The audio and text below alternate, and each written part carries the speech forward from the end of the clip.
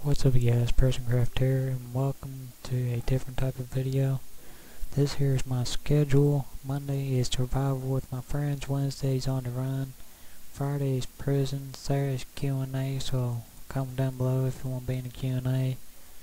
And Sunday is server review, and hope y'all have enjoyed, and I give y'all time to look at this, and hope y'all enjoy.